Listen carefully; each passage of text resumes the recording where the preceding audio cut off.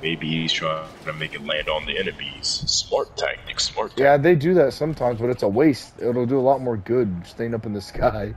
Retreat, faggot. Oh my god! That cabin landed on a friendly and blew him up!